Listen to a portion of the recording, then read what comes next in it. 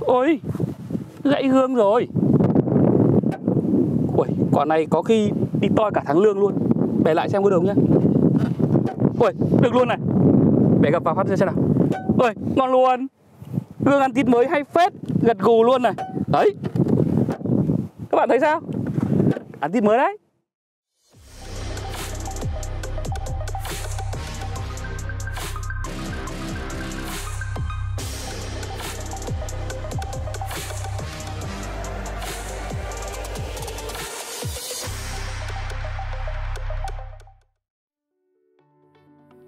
Chào mừng tất cả quý vị và các bạn đã trở lại với Việt Nam Road Trip.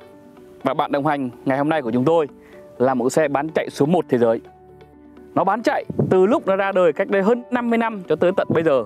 Khoảng hơn 50 triệu xe trên toàn thế giới Và luôn luôn đứng ở vị trí số 1 Và Antit cũng là mẫu xe đầu tiên mà nhà máy Toyota tại Việt Nam xuất xưởng ở Vĩnh Phúc vào năm 1996 từ đó tới nay thì có khoảng hơn 80.000 xe Antit đã lăn bánh trên lãnh thổ Việt Nam. Điều đó để nói lên rằng Antit là một xe rất thành công của Toyota.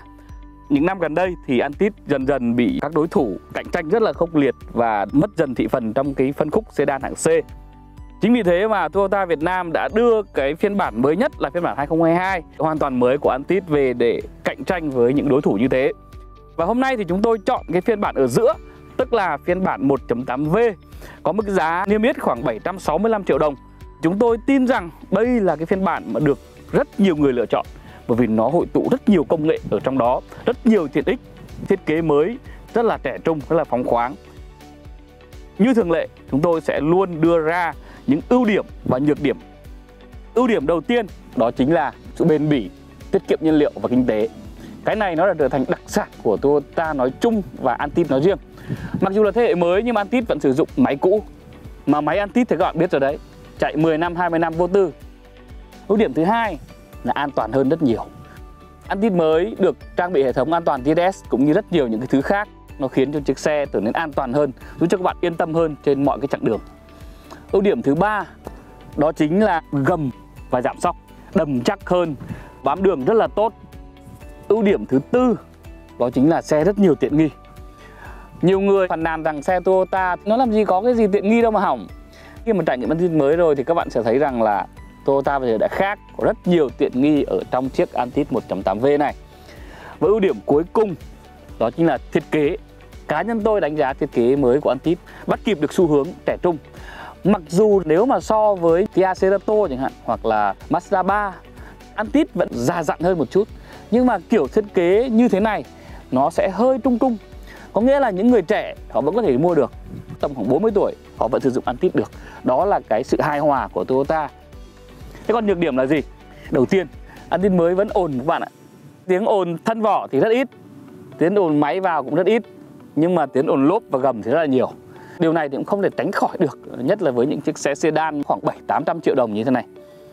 Nhược điểm thứ hai, đó chính là cả xe có mỗi ba cái cổng sạc, một cổng USB duy nhất, một cổng Type-C và một cổng cắm 12V. Mà trong cái thời đại công nghệ như thế này, ai cũng sử dụng smartphone, ai sử dụng iPad các thứ thì ba cổng sạc đấy không thể phục vụ đủ cho cả bốn người trên xe cùng một lúc được. Lại không có sạc không dây nữa.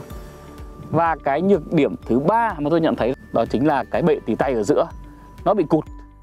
Các bạn chỉ có thể để cái cùi trỏ của các bạn khi mà các bạn ngồi thư thái thoải mái như này.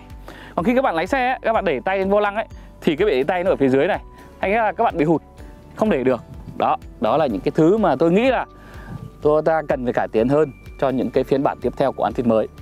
Và bây giờ thì như thường lệ chúng tôi sẽ đánh giá vận hành trước và giới thiệu với các bạn về những trang bị nội ngoại thất. Đầu tiên về vận hành đó chính là hệ thống lái. Thì Antit mới được trang bị hệ thống lái trợ lực điện chính vì thế mà các bạn có thể xoay trở dễ dàng nhẹ nhàng.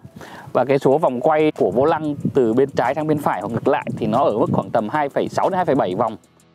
Số vòng ngắn như thế thì giúp cho các bạn có thể linh hoạt trong điều kiện đường phố hoặc ôm cua đèo dốc. Hệ thống lái này cho tôi cái cảm giác rất là thoải mái, nhẹ nhàng khi mà di chuyển trong những con đường chật hẹp, khi mà chúng tôi đánh lái rích rắc. Nhưng mà trên cái đường cao tốc xa lộ, khi mà chạy ở tốc độ 100 km/h thì à, khá đầm chắc thôi. Nếu mà dùng từ đầm chắc thì không không phải. Camry 10 điểm về sự đầm chắc chẳng hạn. Antit chỉ được khoảng 8 điểm thôi. Hình ảnh của camera lùi thì được hiển thị ở ngay cái màn hình trung tâm luôn các bạn đây, chất lượng hình ảnh thì ở mức khá thôi và chỉ có một góc chiếu này thôi nhé không phải là ba góc chiếu giống như các đối thủ của nó. Nếu Toyota trang bị cho Antit phiên bản V, camera 360 độ nữa thì chắc là sẽ cháy hàng lắm đấy. Rất là tiện ích cho mọi người di chuyển trong phố đông hoặc trong những điều kiện chật hẹp, quan sát rất là dễ dàng. Cái thiết kế TNGA mới của Toyota được áp dụng. Gương chiếu hậu được đẩy lùi về phía đằng sau. Nó giúp cho cột A nhìn rất là thoáng, thoải mái, quan sát rất là dễ dàng. Thứ hai là về cách âm. Antit mới, mà cụ thể là phiên bản 1.8V này, cho cái độ ổn trong khoang cabin không thực sự yên tĩnh. Hơn 72 decibel. Đó là một mức mà chúng tôi đánh giá là khá ổn đấy. Cái nguồn ồn chính đến từ à, lốp và khung gầm. Lốp của Antit mới to hơn, tức là cái bề mặt lốp nó to hơn. Và cái chiều cao lốp thì khá là mỏng ở 225 45 R17 lái có vẻ thể thao hơn, bám đường hơn một chút, nhưng mà đi kèm với nó là tiếng ồn vọng lên rất là nhiều lúc mà các bạn tăng tốc mạnh lên thì cái tiếng rội vào khoang cabin khá là nhiều. Nhưng mà khi mà vận hành bình thường rồi chạy ở tốc độ cố định rồi thì nó rất là êm rất là mượt. Tiếp theo là về hệ thống động lực và tăng tốc. Mặc dù là thế hệ mới nhưng mà Antit vẫn được trang bị động cơ 1.8 như những chiếc xe đời trước.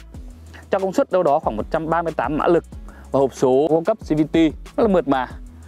Thời gian tăng tốc từ 0 lên 100 km h là ở mức khoảng tầm 11,5 giây khá là nhanh cái hệ thống động lực này nó vừa đủ cái mức tiêu hao nhiên liệu trung bình ở điều kiện đường hỗn hợp nó ở mức khoảng tầm 6,8 lít cho 100 km tức là nó chỉ hơn chiếc Vios 1.5 0,5 cho tới khoảng gần 1 lít cho 100 km mà thôi.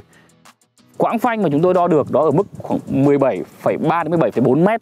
Nó một quãng phanh rất an toàn nếu các bạn để ý những cái clip mà chúng tôi đã review trước đây thì hầu hết những chiếc xe đều có quãng phanh khoảng tầm 18 19 mét thậm chí là 20 mét cái điểm mà tôi rất ấn tượng như hồi nãy tôi chia sẻ với các bạn, đó chính là hệ thống khung gầm và giảm sóc mới của Antit. Nó khác hẳn những cái đối thủ trong phân khúc sedan hạng C. Khung gầm dng mới thì rõ ràng là nó khác rồi. Thứ hai nữa là hệ thống giảm sóc, cả bốn bánh độc lập luôn. Khi các bạn chạy ở trên những cái đoạn đường mà mấp mô, đoạn đường sỏi đá hoặc đoạn đường mà gập ghềnh một chút thì mới cảm thấy rằng là hệ thống giảm sóc nó triệt tiêu những cái xung động từ mặt đường khá là tốt. Khi mà chúng tôi thử cái bài thử dích rắc cua gấp và phanh đột ngột thì hệ thống giảm sóc của khung gầm tỏ ra là chắc chắn. Và bây giờ thì tôi sẽ giới thiệu cho các bạn những cái thiết kế bên ngoài tiện nghi cũng như là trang bị nội ngoại thất. Thiết kế ngoại thất của chiếc Antit phiên bản 2022 1.8V này đã có sự thay đổi rất là nhiều so với phiên bản trước đó. Đầu xe các bạn có thể nhìn thấy cái sự hầm hố thể hiện rất là rõ bằng cái lưới tản nhiệt rất là to mở rộng ra hai bên. Rồi cụm đèn chiếu sáng phía trước, các cái đường mạ chrome nhìn nó cũng rất là sang trọng. Cụm đèn chiếu sáng phía trước là dạng bi led và có đèn định vị chạy ban ngày. Cụm đèn sương mù rất là nhỏ nhưng mà cái hốc đèn của nó rất là to với đường viền mạ chrome. Ở đây thì có các cảm biến xung quanh xe nữa. Ở phía trong này cũng có chứa một cái radar của hệ thống an toàn TSS cũng như là radar ở phía bên trên kính lái. Về phía bên hông xe cũng có những cái đường gân dập nổi từ bánh trước kéo dài ra tới tận đuôi xe luôn. La răng mới 17 inch gương chiếu hậu, tích hợp đèn báo rẽ, chỉnh gập điện và có gập tự động luôn các bạn nhé. Trên này thì không có hệ thống camera 360 độ đâu. Tay nắm cửa dạng mạ chrome, nhìn cũng rất là sang trọng, nhưng mà vẫn còn cái chìa khóa cơ ở đây, dĩ nhiên là có cả nút cảm ứng ở đây nữa. Phía trên không có thanh tay chở cả nóc cũng như là anten với cá mập, không có cả cửa sổ trời. Phần đuôi xe thì các bạn có thể nhận thấy cái sự đổi mới rồi cụm đèn cũng được nối bằng một cái thanh viền mạ chrome tạo nên sự liền mạch cho cái phần đuôi xe. Và đằng sau thì cũng có camera lùi và các cảm biến trong cái hệ thống an toàn của xe. Đèn phản quang sương mù phía sau cũng rất là to cùng với cản sau. Hài hòa với tổng thể cả phần thân và đầu xe. Trong mấy năm gần đây thì Toyota đã thay đổi cái diện mạo của chiếc xe của mình. Đặc biệt là phiên bản Antit 1.8V này thì các bạn có thể nhìn thấy là trẻ trung hơn, hiện đại hơn, cá tính hơn và trang bị nội ngoại thất của nó cũng rất là nhiều. Thì bây giờ tôi sẽ đi vào nội thất để cho các bạn thấy rằng là nội thất của nó cũng gần như là không kém gì so với các đối thủ đâu. Và bây giờ là tới phần nội thất của xe đây các bạn. Cái bảng tapi cửa hay là cái khu vực lái vô lăng thì nó cũng được làm từ những chất liệu khá là cao cấp. Ở trên này là đều là nhựa mềm này Với các cái chi tiết đường mạ chrome này các bạn nhìn thấy không ạ? Đấy, Ngay cả cái tay nắm cửa cũng thế. Nhựa đen bóng cùng với mạ chrome tạo nên cái điểm nhấn cũng như là sự sang trọng cho chiếc xe cả bốn cửa sổ đều là một chạm các bạn nhé. Ở bên này thì có cái điều khiển gương và gương có thể gập tự động được. Mở cái gương ra phía sau được này. Đó, và tôi có thể à, kéo cái gương về phía bên này được. Mà nó gần như không ảnh hưởng đến cái độ bền cũng như tuổi thọ của gương đâu. Nó giúp cho các bạn có thể giảm thiểu những cái thiệt hại khi va quệt ở trên đường. Vẫn không bị làm sao cả, mình lấy tay mình đẩy về trước thôi. Nút điều chỉnh góc chiếu của đèn phía trước phím tắt hệ thống, đèn pha thích ứng tự động này. Còn đây là các cái phím chờ ghế lái, chỉnh điện tới 10 hướng, có cả bơm lưng ghế ở phía sau. Hai cái phím mở cốp sau và mở nắp bình xăng. Vô lăng thì phía bên phải vẫn là của hệ thống TSS về bên trái là điều khiển hệ thống giải trí cũng như là màn hình ở phía trước. Đèn tự động, gạt mưa tự động luôn. Cái bảng điều khiển phía trước thì là có màn hình 7 inch, hiển thị tất cả các thông tin của xe. Toàn bộ chất liệu trên này là mềm hết này. Điểm nhấn lớn nhất ở cái bảng tablo đó chính là màn hình trung tâm đấy các bạn. 9 inch đa kết nối rất là đẹp, rất là hiện đại. Hệ thống điều hòa là hai vùng độc lập, tự động. Gương chiếu hậu phía trong là chống chói, tự động luôn.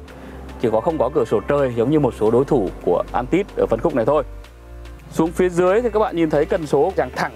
Và ngay phía trước cần số thì có một cái phím bấm chuyển sang chế độ lái Sport, tắt hệ thống chống trượt của xe, phanh tay điện tử, cũng như là chế độ giữ phanh tự động hai cái giá để cốc và bệ tì tay. Trong bệ tì tay này thì có một cổng 12V và một cổng tai C tôi tìm mãi trên chiếc xe này thì chỉ thấy có hai cổng sạc duy nhất thôi. Cổng thứ nhất là cổng tai C ở đây.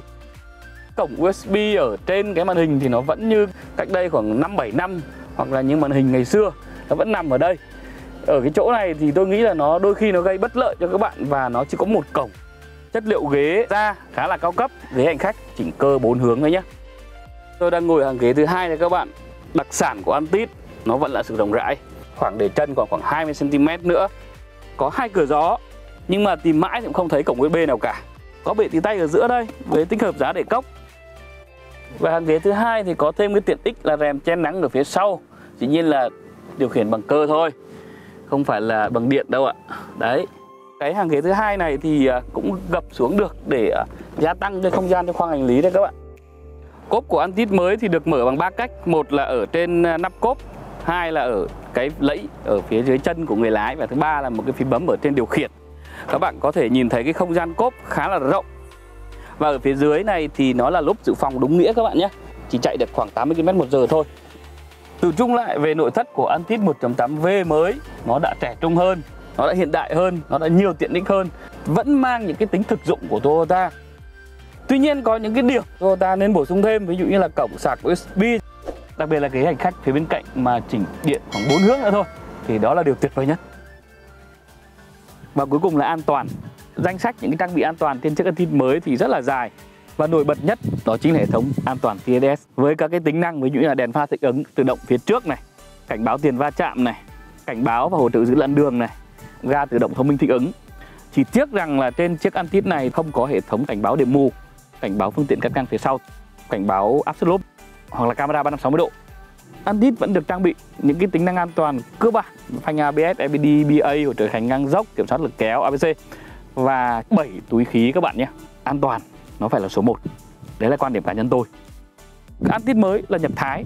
Nó không còn là sản xuất tại Việt Nam nữa. Điều này có thể sẽ đánh tan một số các cái nghi ngại của nhiều người tiêu dùng Rằng là Việt Nam lắp ráp thì à, thế này thế nọ ABC Nhưng bây giờ thì đã được nhập khẩu từ Thái rồi mà mức giá thì cũng rất hợp lý 765 triệu đồng. Rõ ràng là Toyota đang rất muốn Antit mới sẽ cạnh tranh sòng phẳng với Mazda 3, với Honda Civic, với Kia Cerato bằng cách mang lại cho người tiêu dùng một cái trải nghiệm lái mới, một cái hệ thống khung gầm giảm sóc mới và rất nhiều tiện ích cũng như là tính năng an toàn bên trong. Các bạn nghĩ sao về Antit mới? Các bạn nghĩ sao về những cái ưu nhược điểm mà Việt Nam Rocket chúng tôi đã chia sẻ trong cái clip đánh giá chiếc Antit 1.8V này? Thì hãy để lại ý kiến ở phần bình luận. Chúc các bạn luôn luôn mạnh khỏe, bình an và có thêm nhiều trải nghiệm với những chiếc xe của mình trên mọi cung đường. Và nhớ đừng quên like, share, subscribe kênh Việt Nam Road Trip để không bỏ lỡ bất cứ một clip nào trong tương lai của chúng tôi. Thân chào và hẹn gặp lại mọi người.